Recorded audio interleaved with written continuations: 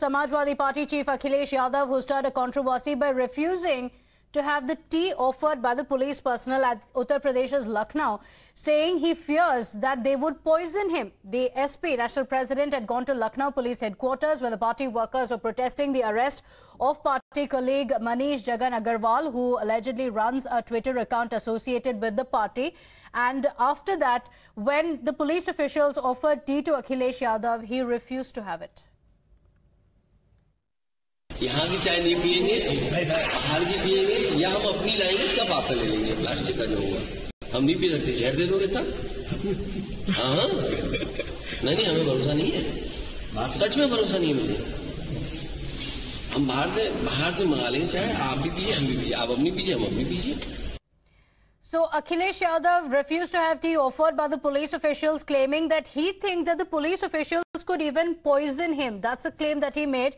The BJP slammed this comment, uh, saying that this shows how low Akhilesh Yadav can stoop to, saying this is an insult of the police officials.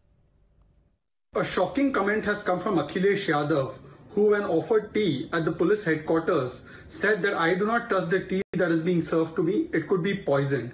This is the level to which Akhilesh Yadav ji has today stooped. This is the same Akhilesh Yadav when UP ATS arrested two Al Qaeda terrorists. He said, I do not have faith on UP ATS. And he even said that the BJP vaccine is there. He cannot even trust the scientists. And today he cannot even trust the police, the same police that gives him protection and defends Uttar Pradesh, defends the country. This is the level to which they stoop for vote bank politics. All right, uh, reaction coming in from the Samajwadi Party defending this statement of Akhilesh Yadav, saying it's a police behavior to blame. Can't really blame Akhilesh Yadav for making this statement. Listen in. All right, before that, let me go across to my colleague Amir Haq, who's joining us on the broadcast with the details. Amir, we saw a big showdown yesterday. Several thousands of SP workers outside the Lucknow police headquarters claiming political vendetta.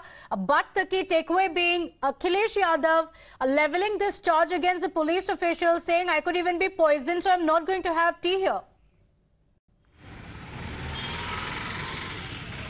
Well, Pratibha, it was quite an awkward moment uh, for the police uh, officials who were present there at the police headquarters yesterday, as well as for SP Chief Akhilesh Yadav, because, uh, uh, you know, he might have made this off-the-cuff statement, but the manner in which it uh, became viral on social media, because there were people there who were actually recording uh, uh the videos there around the time he was interacting with uh, officials at the police headquarters.